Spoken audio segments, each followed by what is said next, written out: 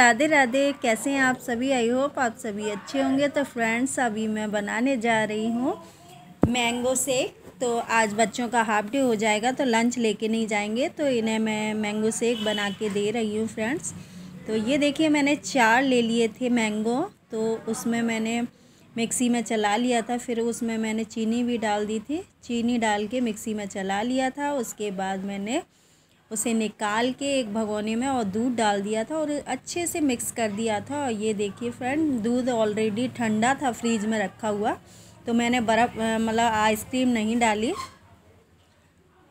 तो ये मैं बच्चों को दे रही हूँ क्योंकि मॉर्निंग में इतना ठंडा भी नहीं देना चाहिए क्योंकि बच्चे को नुकसान कर जाए।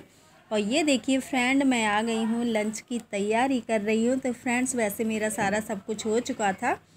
और ये आज मैं बना रही हूँ कड़ी तो झार वाली कड़ी मम्मी बोल थी आज पकौड़ी की नहीं, झार की कड़ी बना देना। तो देखिए फ्रेंड मैंने झार सेक ली थी इकट्ठी। तो वही है ना कि थोड़ा टाइम लगता है कड़ी में। तो ये कड़ी जब तक जितना खोलती है, उतना ही अच्छी होती है। और जब तक कड़ी और चावल एक पे बन रहे थे कड़ी खोल रही थी तो उससे फिर मैंने सोचा फटाफट से मैं थोड़ा सा आटा लगा के रख देती हूँ। जब तक बच्चे भी आ जाएँगे और प्रज्ञा भी छोटे छोटे बच्चों को संभाल रही है। बच मतलब वो नहला के उनको कपड़े वगैरह पहना रही है, जब तक मैं आटा वगैरह लगा के रख दूँगी। और जब तक बड़े बच्चे भी आ जाएँगे, आज उनका हाफ़ डे था तो जल्दी आ जाएँगे, साढ़े दस बजे। ये देखिए, प्रज्ञा आ चुकी है और बच्चों के लिए दूध लेके जा रही है किचन में और कुछ कह, बोल रही है कि हाँ बच्चे बहुत शैतान हो गए हैं तो बस मेरे लंच पूरा प्रॉपर तैयार हो चुका है, किचन भी साफ़ हो चुका है मेरा। तो बस बर्तन लगाने के लिए रह गए थे कि बर्तन ही लगा रही हूँ, क्योंकि जब बच्चे वगैरह खाना मांगते हैं तो लगे हुए बर्तनों से फटाफट से खाना लगा के दे देते हैं। तो वही मैं बर्तन हमेशा साफ़ करके पाँच दस मिनट बाद में बर्तनों को स्टैंड में लगा देती हूँ। तो ये मेरे बर्तन भी लग चुके हैं और ये देखिए मेरा बड़ा वाला बेटा आ चुका है।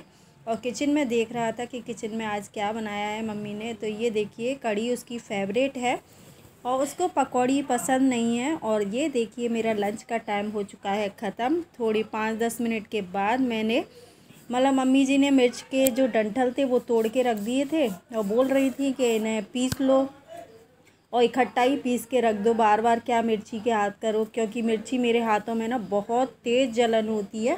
तो मैंने भी सोचा, आज सारी मिर्ची मैं कूट के ही रख दूँ। जो भी पीसने वाले मसाले हैं, मैं सारे मसाले आज ही पीस के रख दूँगा और कुछ जो मिर्चियाँ थी मतलब थोड़ी सी मिर्ची मैं रख लूँगी क्योंकि मतलब कभी कभी बच्चे या बड़े ये और हमारे देवर जी तो ये लोग कभी कभी लाल मिर्ची मांग लेते हैं। जैसे कि उड़द चने की दाल हो या कड़ी हो तो उसके साथ ज़रूर ये लाल मिर्ची मांगते हैं। तो मैंने थोड़ी सी मिर्ची बचा के रख ली है। तो फ्रेंड्स, आज मैंने सारे मसाले ओल्टू और जो भी धनिया रखा हुआ था, वो भी पीस दिया है और मिर्ची भी सारी पीस दी है। तो और जो थोड़ी सी साबुत वो सौंफ थी तो वो भी पीस के रख दी है। तो ये देखिए फ्रेंड, ये मैंने सौंफ वगैरह और धनिया वगैरह सब कुछ पीस दिया क्योंकि सौंफ जैसे कि करेले या बैंगन या कुछ भी भरे मतलब चीज़ बनाए तो उसमें ज़रूरी है। तो फ्रेंड्स, मेरा मसाला पिस पिस चुका है पूरा।